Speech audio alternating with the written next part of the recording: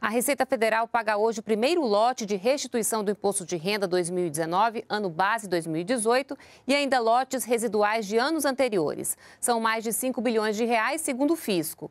Idosos e pessoas com deficiência ou doença grave, além de quem entregou a declaração primeiro, serão contemplados agora.